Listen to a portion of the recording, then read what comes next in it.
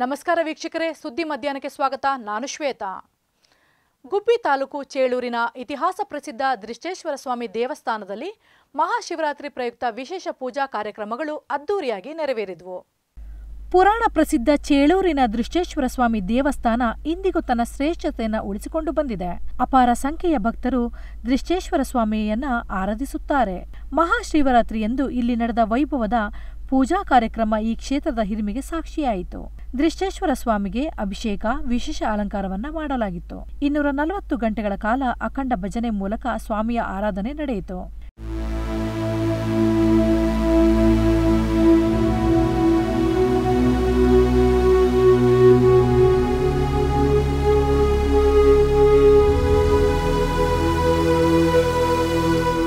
ಅಂಗವಾಗಿ ಅನ್ನ ಸಂತರ್ಪಣೆ ವ್ಯವಸ್ಥೆಯನ್ನು ಮಾಡಲಾಗಿತ್ತು. ಸಹಸ್ರಾರು ಭಕ್ತರು ಆಗಮಿಸಿ ದೃಷ್ಟೇಶ್ವರ ಸ್ವಾಮಿ ದರ್ಶನ ಮಾಡಿ ಪೂಜೆಯನ್ನು ಸಲ್ಲಿಸಿದರು. ಈ ದೇವಾಲಯವನ್ನು ಆರು ಕೋಟಿ ರೂಪಾಯಿ ವೆಚ್ಚದಲ್ಲಿ ಜೀರ್ಣೋದ್ಧಾರ ಮಾಡುವ ಕಾರ್ಯ ಆರಂಭವಾಗಿದೆ. ನಾಗರಾಜು ಅಮೋಕ್ ಟಿವಿ, ಚೇಳೂರು. ಬೆಳಗಾವಿ ಜಿಲ್ಲೆಯ ರಾಮದುರ್ಗ ತಾಲೂಕಿನಲ್ಲಿ ದೇಶದ ಅತಿದೊಡ್ಡ ನಂದಿ ವಿಗ್ರಹ ಹಾಗೂ ಕರ್ನಾಟಕದ ಎರಡನೇ ಎತ್ತರದ ಶಿವನ ಮೂರ್ತಿ ದರ್ಶನಕ್ಕಾಗಿ ಭಕ್ತ ಸಾಗರ ಹರಿದು ಬರುತ್ತಿದೆ. ಪ್ರತಿ ವರ್ಷದಂತೆ ಈ ವರ್ಷವೂ ಮಹಾಶಿವರಾತ್ರಿ ನಿಮಿತ್ತವಾಗಿ ರಾಮದುರ್ಗ ತಾಲೂಕಿನ ಅಶೋಕನಗರದಲ್ಲಿರುವ ಶಿವ ಪ್ರತಿಷ್ಠಾಪನಾ ಸೇವಾ ಸಮಿತಿ, ರಾಮದುರ್ಗ ಅಶೋಕವನದ ಶ್ರೀ ರಾಮೇಶ್ವರ ದೇವಸ್ಥಾನದ ಆರನೇ ಮಹಾಶಿವರಾತ್ರಿಯ ಕಾರ್ಯಕ್ರಮ ಜರುಗಿದವು. ಬೆಳಗ್ಗೆ ಎಂಟು ಗಂಟೆಗೆ ರುದ್ರಾಭಿಷೇಕ, ಬಿಲ್ವಾರ್ಚನೆ, ಶಿವನ ಮೂರ್ತಿ ಹಾಗೂ ಬೃಹತ್ ನಂದಿ ವಿಗ್ರಹಕ್ಕೆ ವಿಶೇಷ ಪೂಜಾ ಕಾರ್ಯಕ್ರಮ ನಡೆದವು. ಮುಂದಿನ ವಿಧಾನಸಭೆ ಚುನಾವಣೆಯ ಪ್ರಚಾರ ಕಾರ್ಯಕ್ರಮಕ್ಕೆ ಪೂಜೆ ಸಲ್ಲಿಸುವ ಮೂಲಕ ಜನಸೇವಾ ಯಾತ್ರೆಗೆ ಗೌರಿಬಿದನೂರಿನಲ್ಲಿ ಸಮಾಜ ಸೇವಕ ಕೆಎಚ್ ಪುಟ್ಟಸ್ವಾಮಿಗೌಡ ಚಾಲನೆ ನೀಡಿದರು. ತಾಲೂಕಿನ ಎಲ್ಲೋಡು ಶ್ರೀ ಲಕ್ಷ್ಮೀ ಆದಿನಾರಾಯಣ ಸ್ವಾಮಿ ದೇವಾಲಯದಲ್ಲಿ ಗೌರಿಬಿದನೂರು ವಿಧಾನಸಭಾ ಕ್ಷೇತ್ರದ ಸಮಾಜ ಸೇವಕ ಕೆಎಚ್ ಪುಟ್ಟಸ್ವಾಮಿಗೌಡ ವಿಶೇಷ ಪೂಜೆಯನ್ನು ಸಲ್ಲಿಸುವ ಮೂಲಕ ಕೆಎಚ್ಪಿ ಜನಸೇವಾ ರಥಪ್ರಚಾರ ವಾಹನಗಳಿಗೆ ಚಾಲನೆಯನ್ನು ನೀಡಿದರು. ಇತಿಹಾಸ ಪ್ರಸಿದ್ಧ ಶ್ರೀ ಲಕ್ಷ್ಮೀ ಆದಿನಾರಾಯಣ ಸ್ವಾಮಿ ದೇವಾಲಯದಲ್ಲಿ ಸಾವಿರಾರು ಸಂಖ್ಯೆಯಲ್ಲಿ ಕೆಎಚ್ಪಿ ಬಣದ ಕಾರ್ಯಕರ್ತರು ಮತ್ತು ಅಭಿಮಾನಿಗಳ ಸಮ್ಮುಖದಲ್ಲಿ ಪೂಜೆಯನ್ನು ಸಲ್ಲಿಸಿದರು. ನಂತರ ಕಾರ್ಯಕರ್ತರನ್ನು ಉದ್ದೇಶಿಸಿ ಮಾತನಾಡಿದ ಕೆಎಚ್ಪಿ ಫೌಂಡೇಶನ್ನ ಅಧ್ಯಕ್ಷ ಮತ್ತು ಸಮಾಜ ಸೇವಕ ಕೆಎಚ್ ಪುಟ್ಟಸ್ವಾಮಿ ಗೌಡ, ಮಹಾಶಿವರಾತ್ರಿ ಹಬ್ಬದ ಪ್ರಯುಕ್ತ ನಮ್ಮ ಕೆಎಚ್ಪಿ ಬಣದ ವತಿಯಿಂದ ಜನಸೇವಾ ಪ್ರಚಾರ ರಥಕ್ಕೆ ಚಾಲನೆಯನ್ನ ನೀಡಲಾಯಿತು. ಸಾಂಪ್ರದಾಯಬದ್ಧವಾಗಿ ಏನಾದರೂ ಕಾರ್ಯ ಮಾಡಬೇಕಾದಲ್ಲಿ ಇಲ್ಲಿಗೆ ಬಂದು ಶ್ರೀ ಆದಿನಾರಾಯಣ ಸ್ವಾಮಿ ದೇವರ ಆಶೀರ್ವಾದವನ್ನು ಪಡೆದು ದೇವರ ದರ್ಶನ ಮಾಡಿ ಕಾರ್ಯಕ್ರಮಗಳಿಗೆ ಚಾಲನೆ ನೀಡುತ್ತೇನೆ ಎಂದರು. ಇವತ್ತು ಮಹಾಶಿವರಾತ್ರಿ ಪವಿತ್ರ ಹಬ್ಬದ ದಿನ. ನಮ್ಮ ಕೆಚ್ ಬಿ ಬಣದಿಂದ ಜನಸೇವಾ ರಥ ಯಾತ್ರೆಯನ್ನು ಪ್ರಾರಂಭ ಮಾಡ್ತಾ ಇದ್ದೀವಿ. ಇವತ್ತು ಶನಿವಾರ ದಿವಸ ಈ ಶುಭ ಶಿವರಾತ್ರಿ ಮತ್ತು ಆದಿನಾರಾಯಣ ಸ್ವಾಮಿಯ ಆಶೀರ್ವಾದ ಪಡೆಯೋಕ್ಕೆ ಅಂತ ಅಂದ್ಬಿಟ್ಟು ಇಲ್ಲಿ ಬಂದಿದ್ದು ಸಾಂಪ್ರದಾಯಿಕವಾಗಿ ಯಾವುದೇ ಒಂದು ಕಾರ್ಯವನ್ನು ಕೈಗೊಳ್ಳಬೇಕಾದ್ರೆ ಸಾಂಪ್ರದಾಯಿಕವಾಗಿ ಆದಿನಾರಾಯಣ ಸ್ವಾಮಿ ಆಶೀರ್ವಾದ ಪಡೆದು ಕಾರ್ಯವನ್ನು ಪ್ರಾರಂಭ ಮಾಡೋದು ನಮ್ಮದು ಪದ್ಧತಿ ಇದೆ. ಆ ಪದ್ಧತಿ ಪ್ರಕಾರ ಶ್ರೀ ಸ್ವಾಮಿಯ ದರ್ಶನವನ್ನು ಪಡೆದು ಅವರ ಆಶೀರ್ವಾದದ ಮೂಲಕ ಇವತ್ತು ನಾವು ಜನಸಭೆ ಯಾತ್ರೆಯನ್ನು ಪ್ರಚಾರವನ್ನು ಪ್ರಾರಂಭ ಮಾಡಿದ್ದೀವಿ ಈ ಒಂದು ಪ್ರಚಾರ ಯಾತ್ರೆಗೆ ನಮ್ಮ ಪಕ್ಷದಿಂದ ಕೆ ಎಚ್ ಬಿ ಬಡದಿಂದ ನಮ್ಮ ಕಾರ್ಯಕರ್ತರು, ನಮ್ಮ ಮುಖಂಡರುಗಳು, ನಮ್ಮ ತಾಲೂಕಿನ ಮೂಲೆ ಮೂಲೆಯಿಂದ ಬಂದು ನನಗೆ ಆಶೀರ್ವಾದ ಮಾಡ್ತಾ ಇದ್ದಾರೆ, ನನಗೆ ಬೆಂಬಲ ಕೊಡ್ತಾ ಇದ್ದಾರೆ. ಈ ಒಂದು ಬೆಂಬಲಕ್ಕೆ ನಮ್ಮ ಕಾರ್ಯಕರ್ತರಿಗೆ ಮತ್ತು ನಮ್ಮ ಮುಖಂಡರಿಗೆ ನಾನು ಆಭಾರಿಯಾಗಿದ್ದೇನೆ. ಇದೇ ಥರ ನಮ್ಮ ಎಲ್ಲ ಕಾರ್ಯಕರ್ತರು, ನಮ್ಮ ಮುಖಂಡರುಗಳು ಕೊನೆ ಎಲೆಕ್ಷನ್ನ ಕೊನೆ ದಿನದವರೆಗೂ ಓಟ್ ಹಾಕಿ ಐದು ಗಂಟೆ, ಆರು ಗಂಟೆ ಆಗೋವರೆಗೂ ಇದೇ ಉತ್ಸಾಹದಿಂದ ನನ್ನನ್ನು ಬೆಂಬಲಿಸಿ ಆಶೀರ್ವಾದ ಮಾಡಲಿ. ನಮ್ಮ ಕಾರ್ಯಕರ್ತರು ಮತ್ತು ಮುಖಂಡರುಗಳು ಮುಖ್ಯ. ಯಾವುದೇ ಒಂದು ಜನದ ಜೊತೆ ಜನ ಎಷ್ಟು ಮುಖ್ಯನೋ ನಮ್ಮ ಕಾರ್ಯಕರ್ತರು ಕೂಡ ಅಷ್ಟೇ ಮುಖ್ಯ. ಅದರಿಂದ ಜನಕ್ಕೆ ನಾನು ತಲುಪಬೇಕಾದ್ರೆ ನಮ್ಮ ಕಾರ್ಯಕರ್ತರ ಮೂಲಕ ತಲುಪಬೇಕು. ಅದರಿಂದ ನಮ್ಮ ಕಾರ್ಯಕರ್ತರು ಜನ ಮತ್ತು ನನ್ನ ಮಧ್ಯೆ ಕಾರ್ಯಕರ್ತರು ಬ್ರಿಡ್ಜ್ ಆಗಿರ್ತಾರೆ. ಆ ಬ್ರಿಡ್ಜ್ ಆಗಿ ನನ್ನನ್ನು ಯಾವತ್ತೂ ಕೂಡ ಬೆಂಬಲಿಸಿ ನಮ್ಮ ಕಾರ್ಯಕರ್ತ ಕೇಳ್ಕೊಂಡು ಈ ಒಂದು ಒಂದು ಯಾತ್ರೆ ಬಂದಾಗ ಎಲ್ಲ ಬೆಂಬಲ ಕೊಟ್ಟಂತ ಎಲ್ಲರೂ ಕೂಡ, ಪತ್ರಕರ್ತರಿಗೂ ಕೂಡ ವಂದಿಸಿ ನಾನು ಮಾತು ಮುಗಿಸ್ತೀನಿ. ಎಲ್ಲರಿಗೂ ನಮಸ್ಕಾರ. ಈ ಒಂದು ಬೆಂಬಲಕ್ಕೆ ನಾನು ಅಭಾರಿಯಾಗಿದ್ದೇನೆ. ಇದೇ ರೀತಿಯಲ್ಲಿ ನಮ್ಮ ಕಾರ್ಯಕರ್ತರು ಮತ್ತು ಮುಖಂಡರುಗಳು ಚುನಾವಣೆಯ ಕೊನೆಯ ತನಕ ಇದೇ ರೀತಿ ಕೆಲಸ ಮಾಡಿ ನನ್ನನ್ನು ಗೆಲ್ಲಿಸುತ್ತಾರೆ ಎಂಬ ವಿಶ್ವಾಸವಿದೆ. ನಮ್ಮ ಕಾರ್ಯಕರ್ತರು ಮತ್ತು ಮುಖಂಡರು ನನಗೆ ಸೇತುವೆ ರೀತಿ ನನ್ನ ಜೊತೆ ಇರುತ್ತಾರೆ.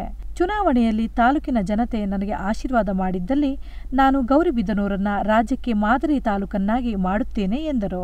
ಜಿಕೊತ್ತೂರು ಪಂಚಾಯತಿ ಇವತ್ತ ಕಾರ್ಯಕ್ರಮ ಇಟ್ಕೊಂಡಿದೆ ಕಾರ್ಯಕ್ರಮ ಮೊದಲನೇ ದಿವಸ. ಅದಕ್ಕೋಸ್ಕರ ಸಂಕ್ಷಿಪ್ತ ನಾನು ಒಂದು ಎರಡು ಮಾತನ್ನು ಮುಗಿಸ್ಬಿಡ್ತೀನಿ. ನಾನು ಕೇಳ್ಕೊಳ್ಳೋದಿಷ್ಟೇ. ಈಗಾಗಲೇ ನಾವು ರಥದ ಹೆಸರು ಕೂಡ ಜನಸೇವಾ ರಥಯಾತ್ರೆ ಅಂತ ಇಟ್ಟಿದ್ದೀವಿ.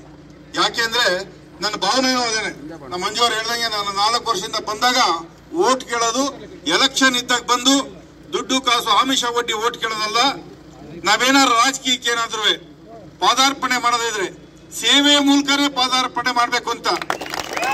ಮೊದಲು ಮೊದಲನೇದಾಗಿ ಕಾರ್ಯಕ್ರಮ ಮಾಡಿದ್ದು ಗೊಂಡಾಪುರದ ದಲಿತ ಹೆಣ್ಣು ಮಕ್ಕಳ ಮದುವೆ.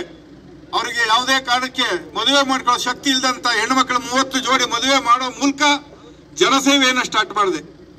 ಅದಾದ್ಮೇಲೆ ನಲವತ್ತೈದು ಕಾರ್ಯಕ್ರಮಗಳು, ದೊಡ್ಡ ದೊಡ್ಡ ಕಾರ್ಯಕ್ರಮ, ಸಣ್ಣ ಪುಟ್ಟ ಐವತ್ತರ ಮೇಲಾಗುತ್ತೆ.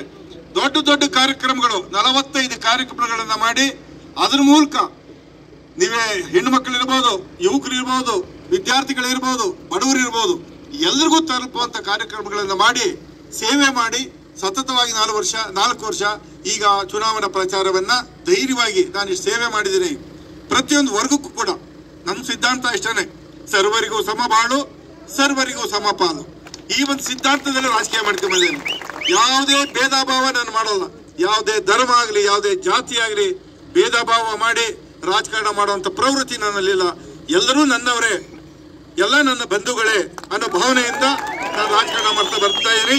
ಮುಂದೂ ಕೂಡ ಗೆದ್ದರೂ ಗೆದ್ದು ನಿಮ್ಮ ಆಶೀರ್ವಾದ ಗೆದ್ದಾದ್ಮೇಲೂ ಕೂಡ ಇದೇ ಭಾವನೆ ಇಟ್ಕೊಂಡು ಸರ್ವರಿಗೂ ಸಮಪಾಲು, ಸರ್ವರಿಗೂ ಸಮಬಾಳು ಅನ್ನೋ ಒಂದು ತತ್ವ ಇಟ್ಕೊಂಡು ರಾಜಕಾರಣ ಮಾಡ್ತೀನಿ. ಆದ್ರಿಂದ ನಿಮ್ಮ ಆಶೀರ್ವಾದ ಮುಂದೆ ಕೂಡ ಇರಬೇಕು. ಈಗ ಏನು ಉತ್ಸಾಹ ಇದೆ, ಈ ಉತ್ಸಾಹ ನೋಡಿದ್ರೆ ನಿಜಕ್ಕೂ ಇದು ಯಾರ ಒಂದು ಹೇಳ್ಕೊಟ್ಟು ಮಾಡೋ ಉತ್ಸಾಹ, ಎದೆಯಿಂದ ಬರೋ ಉತ್ಸಾಹ, ನಿಮ್ಮ ಉತ್ಸಾಹಗಳನ್ನು ನೋಡಿದ್ರೆ ಎದೆ ಒಳಗಿಂದ ಬರೋ ಉತ್ಸಾಹ. ನಿಮ್ಮ ಉತ್ಸಾಹ ಇವತ್ತು ಎಲೆಕ್ಷನ್ ಮುಗಿಯವರೆಗೂ ಇದೇ ಉತ್ಸಾಹದಲ್ಲಿ, ಇದೇ ಒಂದು ಕಾರ್ಯ ತತ್ಪರತೆಯಿಂದ ನೀವು ಕೆಲಸ ಮಾಡಬೇಕು. ಇನ್ನು ಈ ಕಾರ್ಯಕ್ರಮದಲ್ಲಿ ಜಿಲ್ಲಾ ಪಂಚಾಯಿತಿ ಮಾಜಿ ಅಧ್ಯಕ್ಷ ಎಚ್ ವಿ ಮಂಜುನಾಥ್ ಕೋಚಿಮಾಲ್ ಮಾಜಿ ಅಧ್ಯಕ್ಷರು ಮತ್ತು ಹಾಲಿ ನಿರ್ದೇಶಕರಾದ ಜೆ. ಕಾಂತರಾಜು, ಪುರಸಭೆ ಮಾಜಿ ಕಾರ್ಯಕರ್ತರು ಹಾಜರಿದ್ದರು. ಆರ್. ಮಂಜುನಾಥ್, ಅಮೋಕ್ ಟಿವಿ ಗೌರಿಬಿದನೂರು ಸಿಎಂ ಬಸವರಾಜ ಬೊಮ್ಮಾಯಿ ಮಂಡಿಸಿದ ರಾಜ್ಯ ಬಜೆಟ್ನಲ್ಲಿ ಚಿಕ್ಕಬಳ್ಳಾಪುರ, ಕೋಲಾರ ಜಿಲ್ಲೆ ಭಾಗಕ್ಕೆ ಬಂಪರ್ ಬಹುಮಾನ ಸಿಕ್ಕಿದೆ ಎಂದು ಚಿಕ್ಕಬಳ್ಳಾಪುರದಲ್ಲಿ ಸಚಿವ ಸುಧಾಕರ್ ಅಭಿಪ್ರಾಯ ವ್ಯಕ್ತಪಡಿಸಿದರು. ಅಂತಾರಾಷ್ಟ್ರೀಯ ಮಟ್ಟದ ಹೂವಿನ ಮಾರುಕಟ್ಟೆಗೆ ನೂರು ಕೋಟಿ, ದ್ರಾಕ್ಷಾರಸ ತಯಾರಿಸುವ ಘಟಕಕ್ಕೆ ನೂರು ಕೋಟಿ ನೀಡಲಾಗಿದೆ. ಏಷ್ಯಾದಲ್ಲಿಯೇ ಎರಡು ಅತಿದೊಡ್ಡ ರೇಷ್ಮೆ ಮಾರುಕಟ್ಟೆ ನಿರ್ಮಾಣ ಮಾಡಲು ಶಿಡ್ಲಘಟ್ಟಕ್ಕೆ ಎಪ್ಪತ್ತೈದು ಕೋಟಿ ನೀಡಿದೆ. ನಂದಿಗಿರಿಧಾಮ ರೋಪ್ ವೇ ಶಂಕುಸ್ಥಾಪನೆಗೆ ಗ್ರೀನ್ ಸಿಗ್ನಲ್ ನೀಡಿದ್ದು, ಜಿಲ್ಲೆಯ ಸಮಗ್ರ ಅಭಿವೃದ್ಧಿಗೆ ಒತ್ತು ನೀಡಿದ ಸಿಎಂ ಬಸವರಾಜ ಬೊಮ್ಮಾಯಿಗೆ ಆರೋಗ್ಯ ಸಚಿವ ಡಾಕ್ಟರ್ ಕೆ ಸುಧಾಕರ್ ಧನ್ಯವಾದವನ್ನ ತಿಳಿಸಿದರು. ರಾಜ್ಯ ಮಟ್ಟದ ಕೆಲವು ಕಾರ್ಯಕ್ರಮಗಳನ್ನು ನಿನ್ನೆನೆ ನಾನು ಮಾಧ್ಯಮ ಸ್ನೇಹಿತರ ಜೊತೆ ಹಂಚ್ಕೊಂಡಿದ್ದೀನಿ.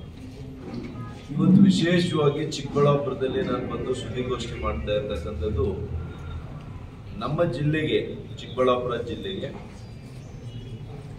ಏನು ವಿಶೇಷವಾಗಿ ಆಯವ್ಯಯದಲ್ಲಿ ಈ ಸರ್ಕಾರ ಕೊಟ್ಟಿದೆ ನಮ್ಮ ಸರ್ಕಾರ ಕೊಟ್ಟಿದೆ ಅಂತ ಅಭಿಮಾನದಿಂದ, ಹೆಮ್ಮೆಯಿಂದ ಹೇಳಲಿಕ್ಕೆ ನಾನು ಬಂದಿದ್ದೇನೆ. ಅತ್ಯಂತ ಸಂತೋಷದಿಂದ ಕೂಡ ಹೇಳಲಿಕ್ಕೆ ಬಂದಿದ್ದೇನೆ. ಅದರಲ್ಲಿ ಬಹಳ ಮುಖ್ಯವಾಗಿರ್ತಕ್ಕಂಥ ಕಾರ್ಯಕ್ರಮ. ಎತ್ತಿನ ಹೊಳೆ ಯೋಜನೆ.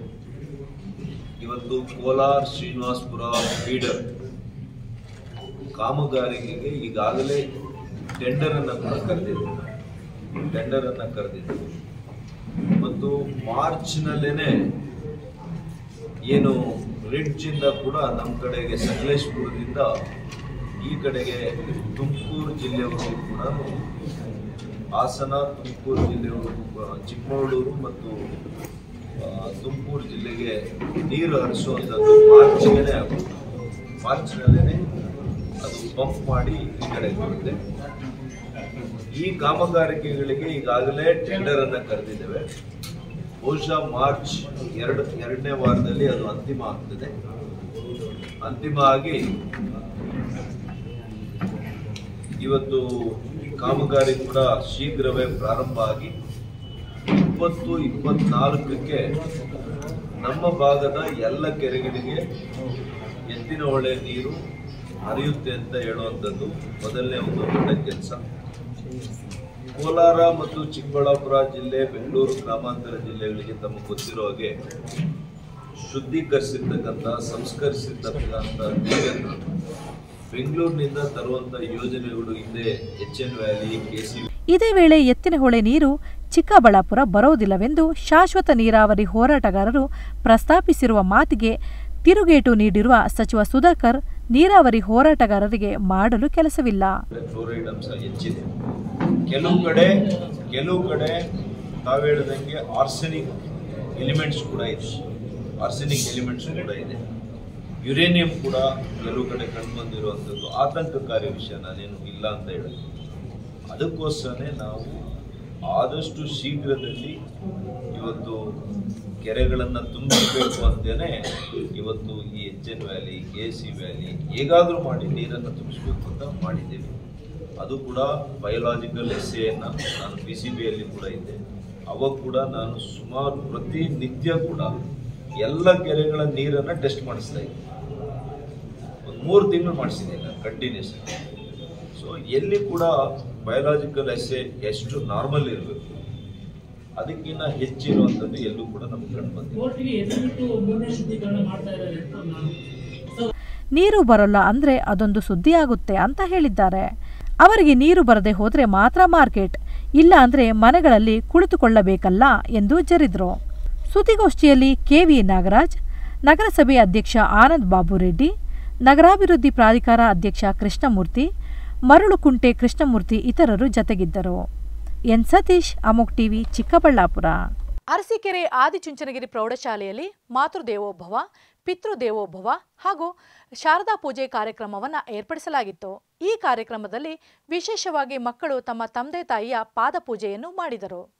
ಕಾರ್ಯಕ್ರಮದಲ್ಲಿ ಭಾಗವಹಿಸಿ ಮಾತನಾಡಿದ ಹಾಸನ ಶಾಖಾ ಮಠದ ಶ್ರೀ ಶಂಭುನಾಥ ಸ್ವಾಮೀಜಿ, ಮಕ್ಕಳು ತಂದೆ ತಾಯಿಯರಿಗೆ ಪಾದಕ್ಕೆ ನಮಸ್ಕಾರ ಮಾಡಿದಾಗ ತಂದೆ ತಾಯಿಯವರಿಗೆ ಒಂದು ರೀತಿಯ ಕಂಪನ ಉಂಟಾಗುತ್ತದೆ. ಆದರೆ ಈ ರೀತಿಯ ಕಂಪನಗಳು ಎಲ್ಲ ಸಂದರ್ಭದಲ್ಲೂ ಆಗುವುದಿಲ್ಲ. ಈ ಸಂದರ್ಭದಲ್ಲಿ ಮಕ್ಕಳಿಗೆ ಆಶೀರ್ವಾದ ಮಾಡುವುದರಿಂದ ಅವರಿಗೆ ಆ ಆಶೀರ್ವಾದವು ರಕ್ಷಾ ಕವಚವಾಗುತ್ತದೆ ಎಂದರು. ಉಪನಿಷತ್ತಿನಲ್ಲಿ ಮೊದಲು ವಂದನೆ ಮಾಡುವುದು ಮಾತೃದೇವೋಭವ, ಎರಡನೆಯದು ಪಿತೃದೇವೋಭವ, ಮೂರನೆಯದಾಗಿ ಆಚಾರ್ಯ ದೇವೋಭವ. ಈ ಮೂವರು ವಿದ್ಯಾರ್ಥಿಗಳ ಜೀವನದಲ್ಲಿ ಬಹಳ ಮುಖ್ಯ ಎಂದರು. ಭಾವನಾತ್ಮಕ ಸಂಬಂಧದಲ್ಲಿ ಮಾತ್ರ ತಂದೆ ತಾಯಿಗಳಿಗೆ ಮಕ್ಕಳು ನಮಸ್ಕಾರ ಮಾಡಿದಂಥ ಸಂದರ್ಭದಲ್ಲಿ ತಮಗೆ ಗೊತ್ತಿಲ್ಲದಲೇ ಒಂದು ವೈಬ್ರೇಷನ್ ಉಂಟಾಗ್ತದೆ. ಅದಕ್ಕೆ ಆ ವೈಬ್ರೇಷನ್ ಉಂಟಾದಂಥ ಸಂದರ್ಭದಲ್ಲಿ ಯಾವ ತಂದೆ ತಾಯಿಗಳು ಮಕ್ಕಳಿಗೆ ಆಶೀರ್ವಾದ ಮಾಡ್ತಾರೋ ಅದು ಮಕ್ಕಳಿಗೆ ಬರೀ ಆಶೀರ್ವಾದ ಆಗಿರೋದಿಲ್ಲ ರಕ್ಷಾ ಕವಚವಾಗಿ ಆಗ್ತದೆ. ನಾವೆಲ್ಲ ಸನಾತನ ಸಂಸ್ಕೃತಿಯಲ್ಲಿ ಹುಟ್ಟಿದ್ದೀವಿ. ಯಾವುದೇ ಧರ್ಮ ಆಗಿರ್ಬೋದು, ಯಾವುದೇ ಜಾತಿ ಆಗಿರ್ಬೋದು, ಆದರೆ ಯಾವುದೇ ಧರ್ಮದಲ್ಲಿ, ಯಾವುದೇ ಜಾತಿಯಲ್ಲಿ ಮನುಷ್ಯರಿಗೆ ತಂದೆ ತಾಯಿಗಳು ಭಾಳ ಮುಖ್ಯ. ಅದಕ್ಕೋಸ್ಕರ ವೇದ ದೊಡ್ಡದು. ಭಗವದ್ಗೀತೆ, ಉಪನಿಷತ್ತು ಎಲ್ಲವೂ ಕೂಡ ನಾವು ತಿಳ್ಕೊಂಡಿದ್ದೀವಿ. ಉಪನಿಷತ್ತಲ್ಲಿ ಬರುವಂಥ ಮಾತು ಮೊದಲದೆಲ್ಲ ಏನಂತ ಹೇಳ್ತಾರೆ, ವ್ಯಾಸರು ಅದನ್ನು ಓದಿ ಪುಲಕಿತರಾಗ್ತಾರೆ. ವೇದದಲ್ಲೂ ಕೂಡ ಫಸ್ಟ್ ವಂದನೆ ಮಾಡೋದು ಮಾತೃದೇವೋಭವ. ಇದನ್ನ ಅರ್ಥ ಮಾಡ್ಕೊಳ್ಬೇಕು ನೀವು. ಉಪನಿಷತ್ತಲ್ಲಿ, ವೇದದಲ್ಲಿ ಅಪೌರುಷೇಯ ತಾಯಿ ಗಾಯತ್ರಿ ತಪಸ್ಸಿನಿಂದ ಪದಗಳಿಂದ ಇಪ್ಪತ್ನಾಲ್ಕು ಅಕ್ಷರಗಳಿಂದ ಬಂದಂತಹ ಉಪನಿಷತ್ತು ಏನಿದೆ ವೇದ? ಆ ವೇದದಲ್ಲಿ ಏನು ಹೇಳ್ತಾರೆ? ಫಸ್ಟು ಯಾರಿಗೆ ನಮಸ್ಕಾರ ಮಾಡ್ತಾರೆ? ಮಾತೃದೇವೋಭವ. ಆಮೇಲೆ ಪಿತೃದೇವೋಭವ. ಮೂರನೇದು ಆಚಾರ್ಯ ದೇವೋಭವ. ಆಮೇಲೆ ನೆಕ್ಸ್ಟ್ ಅತಿಥಿಗಳಿಗೆ ಬರ್ತದೆ. ಈ ಮೂರು ಭಾಳ ಮುಖ್ಯ. ತಂದೆ ತಾಯಿಗಳು, ಆಚಾರ್ಯ ಅಂದರೆ ಗುರುಗಳು. ಮೂರು ಸ್ವರೂಪ ಇರುವಂತಹ ಈ ಒಂದು ವೇದಿಕೆಯಲ್ಲಿ ಮಕ್ಕಳು ತಂದೆ ತಾಯಿಗಳಿಗೆ ಶಾಸ್ತ್ರೋತ್ಮವಾಗಿ ಪಾದಪೂಜೆಯನ್ನು ಮಾಡಿ. ಇನ್ನು ಈ ಕಾರ್ಯಕ್ರಮದಲ್ಲಿ ಶಿಕ್ಷಣಾಧಿಕಾರಿ ಮೋಹನ್ ಕುಮಾರ್ ನಗರ ಠಾಣೆ ಸಬ್ ಇನ್ಸ್ಪೆಕ್ಟರ್ ಭಾರತಿ ರಾಯನ್ ಗೌಡ ಆದಿಚುಂಚನಗಿರಿ ಪ್ರೌಢಶಾಲೆ ಪ್ರಾಂಶುಪಾಲ ಲಿಂಗರಾಜು ಪ್ರಾಥಮಿಕ ಶಾಲೆ ಮುಖ್ಯ ಶಿಕ್ಷಕಿ ಜ್ಞಾನೇಶ್ವರಿ ಹಾಗೂ ಮಕ್ಕಳು ಕಾರ್ಯಕ್ರಮದಲ್ಲಿ ಭಾಗವಹಿಸಿದ್ದರು. ನವೀನ್ ಕುಮಾರ್ ಅಮೋಕ್ ಟಿವಿ ಅರಸೀಕೆರೆ ಚಿಕ್ಕಬಳ್ಳಾಪುರ ಜಿಲ್ಲೆಯ ಮಟ್ಟಿಗೆ ನಂದಿ ಜಾತ್ರೆ ಅಂದರೆ ಅದೊಂದು ಹಬ್ಬದ ವಾತಾವರಣ. ದೇವಸ್ಥಾನದ ಹೆಸರು ಪ್ರಸಿದ್ಧಿಗೆ ಮತ್ತಷ್ಟು ಮೆರುಗು ನೀಡಿದ್ದ ಶಿವೋತ್ಸವಕ್ಕೆ ಈ ಬಾರಿಯೂ ಜನಸ್ತೋಮ ಹರಿದು ಬರಲಿದ್ದು, ರಾಜ್ಯಪಾಲರ ಕುಟುಂಬವು ಪಾಲ್ಗೊಳ್ಳುತ್ತಿರುವುದು ಶಿವೋತ್ಸವಕ್ಕೆ ಮೆರುಗು ಹೆಚ್ಚಿಸಿದೆ. ಹೌದು, ಈ ಬಾರಿಯೂ ನಂದಿ ಜಾತ್ರೆಯಲ್ಲಿ ಜನಸಾಗರವೇ ಹರಿದು ಬರಲಿದೆ. ರಾತ್ರಿಡೀ ಸಾಂಸ್ಕೃತಿಕ ಸೌರವವನ್ನ ಕಣ್ತುಂಬಿಕೊಳ್ಳಲು ಜನರು ಕಾದು ಕುಳಿತಿದ್ದಾರೆ ಕಳೆದ ಬಾರಿ ನಡೆದ ಶಿವೋತ್ಸವ ಎರಡನೇ ವರ್ಷಕ್ಕೂ ಮುಂದುವರೆದಿದೆ. ಚುನಾವಣಾ ವರ್ಷ ಇದಾಗಿರುವುದರಿಂದ ಸಚಿವ ಸುಧಾಕರ್ ಇನ್ನಷ್ಟು ಆಸಕ್ತಿ ವಹಿಸಿ ಶಿವರಾತ್ರಿ ನಂದಿ ಜಾತ್ರೆಯನ್ನು ವಿಜೃಂಭಣೆಯಾಗಿ ನಡೆಸಲು ಸಕಲ ಸಿದ್ಧತೆಗಳು ನಡೆಯಲಿವೆ. ರಾತ್ರಿಯಿಡೀ ರಾಜ್ಯ ಹೊರ ರಾಜ್ಯದ ಕಲಾ ತಂಡಗಳಿಂದ ಕಲಾ ಪ್ರದರ್ಶನಕ್ಕೆ ಬೃಹತ್ ವೇದಿಕೆ ಸಿದ್ಧಗೊಂಡಿದೆ. ವೇದಿಕೆಯ ಎಡಭಾಗದಲ್ಲಿ ಜನರು ಕುಳಿತು ವೀಕ್ಷಿಸಲು ಬೃಹತ್ ಎಲ್ಇಡಿ ಅಳವಡಿಸಲಾಗಿದೆ. ಶಿವರಾತ್ರಿ ಉಪವಾಸ ಮುಗಿಸಿ ಮಾರನೇ ದಿನ ನಡೆಯುವ ಜೋಡಿ ರಥೋತ್ಸವದ ವೇಳೆ ಜಮಾವಣೆಯಾಗುವ ಜನಸ್ತೋಮಕ್ಕೆ ಅನ್ನಸಂತರ್ಪಣೆಗೂ ಬೃಹದಾಕಾರದ ಶಾಮಿಯಾನ ಅಳವಡಿಸಲಾಗಿದೆ. ಭೋಗನಂದೇಶ್ವರ ಒಳ ಆವರಣದಲ್ಲಿ ವಿವಿಧ ಬಗೆಯ ಹೂವುಗಳಿಂದ ಸಿಂಗರಿಸಲಾಗಿದ್ದು, ಭೋಗನಂದೇಶ್ವರ ದೇವಾಲಯ ವಧುವರನಂತೆ ಶೃಂಗಾರಗೊಂಡಿದೆ. ಜತೆಗೆ ಜೆಡಿಎಸ್ ಪಕ್ಷದ ಅಭ್ಯರ್ಥಿ ಬಚ್ಚೇಗೌಡರು ಸಹ ಜನರಿಗೆ ಶಿವರಾತ್ರಿ ಹಬ್ಬದ ಶುಭಾಶಯ ಕೋರಿ ಫ್ಲೆಕ್ಸ್ಗಳು ಹಾಕಿ ಶಾಮಯಾನದಡಿ ಜನರಿಗೆ ಮಜ್ಜಿಗೆ ನೀರು ಹಾಗೂ ತಂಪು ಪಾನೀಯಗಳ ವ್ಯವಸ್ಥೆಯನ್ನು ಮಾಡಿದ್ದಾರೆ. ಎನ್ ಸತೀಶ್, ಅಮೋಕ್ ಟಿವಿ, ಚಿಕ್ಕಬಳ್ಳಾಪುರ. ಮಹಾಶಿವರಾತ್ರಿಯ ಪ್ರಯುಕ್ತ ಅರಸೀಕೆರೆಯ ವಿವಿಧ ಶಿವಾಲಯಗಳಲ್ಲಿ ಶಿವನಿಗೆ ವಿಶೇಷ ಅಲಂಕಾರ ಹಾಗೂ ಪೂಜೆ ಪುನಸ್ಕಾರ ನಡೆಯಿತು. ಶಿವಾಲಯದ ಚಂದ್ರಮೌಳೀಶ್ವರ ಸ್ವಾಮಿ, ಶ್ರೀ ಭವಾನಿ ಶಂಕರ ದೇವಾಲಯ, ಮೂರು ಕಳಸ ಮಠ ಮತ್ತು ಶ್ರೀ ಕೆಂಗಲ್ ಸಿದ್ದೇಶ್ವರ ದೇವಸ್ಥಾನಗಳಲ್ಲಿ ವಿಶೇಷ ಪೂಜೆ, ರುದ್ರಾಭಿಷೇಕ, ಮಹಾಮಂಗಳಾರತಿ ಹಾಗೂ ಬಂದ ಭಕ್ತರಿಗೆ ಪ್ರಸಾದ ವಿನಿಯೋಗ ಏರ್ಪಡಿಸಲಾಗಿತ್ತು. ಮಹಾಶಿವರಾತ್ರಿ ಪ್ರಯುಕ್ತ ಶಿವಾಲಯದ ಚಂದ್ರಮೌಳೇಶ್ವರ ಸ್ವಾಮಿಗೆ ಹೆಸರಾಂತ ನಟ ದೊಡ್ಡಣ್ಣರವರು ರುದ್ರಾಭಿಷೇಕದಲ್ಲಿ ಪಾಲ್ಗೊಂಡಿದ್ದರು. ನವೀನ್ ಕುಮಾರ್, ಅಮೋಕ್ ಟಿವಿ, ಅರಸೀಕೆರೆ. ಬೆಂಗಳೂರು ಗ್ರಾಮಾಂತರ ಜಿಲ್ಲೆ ಸೇರಿದಂತೆ ಕೆರೆಗಳಿಗೆ ನೀರಿನ ಸೆಲೆಗಳು ಕಾಲುವೆಗಳ ದುರಸ್ತಿಗೆ ಹಣ ನೀಡದೇ ಇರುವುದು ಬೇಸರ ತಂದಿದೆ ಎಂದು ಶಾಶ್ವತ ನೀರಾವರಿ ಹೋರಾಟ ಸಮಿತಿ ಅಧ್ಯಕ್ಷ ಆರ್ ಆಂಜನೇಯ ರೆಡ್ಡಿ ಬಜೆಟ್ ವಿಮರ್ಶೆಯಲ್ಲಿ ಮಾತನಾಡಿದರು. ಶಾಶ್ವತ ನೀರಾವರಿ ಹೋರಾಟ ಸಮಿತಿ ಪದಾಧಿಕಾರಿಗಳು ನಿನ್ನೆ ಸಿಎಂ ಬಸವರಾಜ ಬೊಮ್ಮಾಯಿ ಮಂಡಿಸಿದ ರಾಜ್ಯ ಬಜೆಟ್ ಬಗ್ಗೆ ಚಿಕ್ಕಬಳ್ಳಾಪುರ ಪತ್ರಕರ್ತರ ಭವನದಲ್ಲಿ ಸುದ್ದಿಗೋಷ್ಠಿಯನ್ನು ನಡೆಸಿದರು. ಹಲವಾರು ವರ್ಷಗಳಿಂದ ಕೋಲಾರ, ಚಿಕ್ಕಬಳ್ಳಾಪುರ ಜಿಲ್ಲೆಗಳಿಗೆ ಹರಿಸುತ್ತಿರುವ ಕೆಸಿ ಮತ್ತು ಹೆಚ್ಎನ್ ವ್ಯಾಲಿ ನೀರನ್ನು ಮೂರನೇ ಹಂತದ ಶುದ್ಧೀಕರಣ ಮಾಡುವುದಾಗಿ ಬಜೆಟ್ನಲ್ಲಿ ಪ್ರಸ್ತಾಪ ಮಾಡಿರುವುದು ನೀರಾವರಿ ಹೋರಾಟಗಾರರಿಗೆ ಒಂದಿಷ್ಟು ಸಂತಸ ಪಡುವಂಥ ಸುದ್ದಿಯಾಗಿದೆ ಎಂದು ಜಿಲ್ಲಾಧ್ಯಕ್ಷ ಆರ್ ಆಂಜನೇಯ ರೆಡ್ಡಿ ತಿಳಿಸಿದರು. ಕೇಂದ್ರ ಸರ್ಕಾರದ ಜಲಶಕ್ತಿಯ ಮಂತ್ರಾಲಯದ ಕೆಳಗಡೆ ಇರತಕ್ಕಂಥ ಸಂಸ್ಥೆ ನಮ್ಮ ಜಿಲ್ಲೆಗಳಿಗೆ, ಅಂದ್ರೆ ಕೋಲಾರ, ಚಿಕ್ಕಬಳ್ಳಾಪುರ ಮತ್ತು ಬೆಂಗಳೂರು ಗ್ರಾಮಾಂತರ ಜಿಲ್ಲೆಗಳಿಗೆ ಸುಮಾರು ಸುಮಾರು ನದಿ ನೀರನ್ನ, ಅಂದ್ರೆ ಕೃಷ್ಣಾ ನದಿಯ ನೀರನ್ನ ಯಾವ ರೀತಿ ಇವತ್ತು ಆಂಧ್ರಕ್ಕೆ, ತಮಿಳುನಾಡಿಗೆ ಕೊಡ್ತಾ ಇದ್ದಾರೋ, ನಮ್ಮ ಕೃಷ್ಣಾ ನದಿಯ, ನಮ್ಮ ರಾಜ್ಯದ ಜಲಸಂಪತ್ತನ್ನ, ಅದೇ ನೀರನ್ನ ಈ ಪೆನ್ನಾರ್ ಬೇಸಿನ್ನಲ್ಲಿ ಇರ್ತಕ್ಕಂಥ ಈ ಮೂರು ಜಿಲ್ಲೆಗಳಿಗೆ ಸುಮಾರು ಒಂದು ಒಂದು ಪಾಯಿಂಟ್ ಏಳು ಎಂಟು ಲಕ್ಷ ಎಕರೆಗೆ ನೀರಾವರಿ ಮಾಡುವುದರ ಜೊತೆಗೆ ಇಲ್ಲಿನ ಎಲ್ಲರಿಗೂ ನದಿ ನೀರನ್ನು ಕುಡಿಲಿಕ್ಕೆ, ಕೊಡಲಿಕ್ಕೆ ಸಾಧ್ಯತೆ ಇದೆ ಅನ್ನುವಂಥದ್ದನ್ನ ಕೇಂದ್ರ ಸರ್ಕಾರ ತನ್ನ ವರದಿಯಲ್ಲಿ ಹೇಳಿದೆ. ಆದರೆ ಈ ಚುನಾಯಿತ ಜನಪ್ರತಿನಿಧಿಗಳು ಇವೆಲ್ಲವನ್ನ ಮನಸ್ಸಲ್ಲಿ ಇಟ್ಕೊಂಡು ಇಂಥ ಒಂದು ಯೋಜನೆ ನಮ್ಮ ಕಣ್ಮುಂದೆ ಇದೆ. ಇದ್ರ ಬಗ್ಗೆ ನಾವು ಕೇಂದ್ರ ಸರ್ಕಾರದ ಮೇಲೆ ಒತ್ತಡವನ್ನು ತರಬೇಕು. ರಾಜ್ಯ ಸರ್ಕಾರದಿಂದ ಒಂದು ಯೋಜನಾ ವರದಿಯನ್ನು ಸಿದ್ಧಪಡಿಸಿ ಅವರಿಗೆ ಕೊಡಬೇಕು ಅನ್ನುವಂಥ ಒಂದು ಸಾಮಾನ್ಯ ಪ್ರಜ್ಞೆಯನ್ನು ಸಹ ಇವತ್ತು ತೋರ್ಪಡಿಸಲಿಕ್ಕೆ ಸಾಧ್ಯ ಆಗ್ತದೆ. ಆ ನಿಟ್ಟಿನಲ್ಲಿ ಇವತ್ತು ಚುನಾವಣೆಗಳು ಬರ್ತಾ ಇದ್ದಾವೆ ಇವತ್ತು ಬಜೆಟ್ ಬಂದಿದೆ. ಇವೆಲ್ಲದರ ಹಿನ್ನೆಲೆಯಲ್ಲಿ ಇದು ನಮ್ಮ ನೀರಾವರಿ ಅನ್ನುವಂಥದ್ದು ಒಂದು ಈ ಜಿಲ್ಲೆಗಳ ಚುನಾವಣೆಯ ಪ್ರಮುಖ ವಿಷಯ ಆಗಬೇಕು ಅನ್ನುವಂಥದ್ದು ಇವತ್ತು ನಮ್ಮೆಲ್ಲ ಈ ಮೂರು ಜಿಲ್ಲೆಗಳ ನೀರಾವರಿ ಹೋರಾಟಗಾರರ ಒಂದು ಸಂಕಲ್ಪ ಆಗಿದೆ. ಆ ನಿಟ್ಟಿನಲ್ಲಿ ಏನೇನು ಕಾರ್ಯಕ್ರಮಗಳು ತಗೋಬೇಕು? ಈ ತುರ್ತು, ಈ ಇಂಥ ಒಂದು ತುರ್ತು ಕಾಲದಲ್ಲಿ, ಚುನಾವಣಾ ಕಾಲದಲ್ಲಿ ಏನೇನು ಕಾರ್ಯಕ್ರಮಗಳು ತಗೋಬೇಕು ಅನ್ನೋದ್ರ ಬಗ್ಗೆ ನಾವು ಈಗೆಲ್ಲ ಈಗಾಗಲೇ ಸಭೆಗಳು ನಡೆದಿದ್ದಾವೆ. ಅದಕ್ಕೆ ಒಂದು ರೂಪುರೇಷೆಯನ್ನು ಮಾಡಿಕೊಂಡಿದ್ವಿ. ಇನ್ನೇನು ಕೆಲವೇ ದಿನಗಳಲ್ಲಿ ಕೆಲವೇ ದಿನಗಳಲ್ಲಿ, ಎರಡು ಮೂರು ದಿನಗಳಲ್ಲಿ ಮತ್ತೆ ಒಂದು ಒಂದು ಪ್ಲಾನ್ ಆಫ್ ಆಕ್ಷನ್ ಜೊತೆ ನಿಮ್ಮ ಮುಂದೆ ಬರಲಿದ್ದೇವೆ ಅನ್ನುವಂಥ ಮಾತನ್ನು ಹೇಳ್ತಾ ತಾವು ಕೃಷ್ಣಾ ನದಿ ನೀರನ್ನ ಪೆನ್ನರ್ ಬೇಸಿನ್ ಭಾಗಕ್ಕೆ ಕುಡಿಯಲು ಕೇಳುವ ಹಕ್ಕಿದೆ. ಅದನ್ನ ಸರ್ಕಾರ ಪರಿಗಣಿಸಿಲ್ಲ ಎಂದು ಇದೇ ವೇಳೆ ಅವರು ಪ್ರಸ್ತಾಪಿಸಿದರು. ಸುದ್ದಿಗೋಷ್ಠಿಯಲ್ಲಿ ಕಾಮ್ರೇಡ್ ಲಕ್ಷಯ್ಯ, ಬಿಜೆಹಳ್ಳಿ ನಾರಾಯಣಸ್ವಾಮಿ, ಪ್ರಭಾ ನಾರಾಯಣಗೌಡ ಹಾಜರಿದ್ದರು. ಎನ್ ಸತೀಶ್ ಅಮೋಕ್ ಟಿವಿ, ಚಿಕ್ಕಬಳ್ಳಾಪುರ. ಇದಷ್ಟು ಈ ಹೊತ್ತಿನ ಅಪ್ಡೇಟ್ಸ್ ಮತ್ತಷ್ಟು ಸುದ್ದಿಗಾಗಿ ನೋಡ್ತಾ ಇರಿ ಅಮೋಕ್ ಟಿವಿ ಎಂದೆಂದಿಗೂ ನಿಮ್ಮೊಂದಿಗೆ.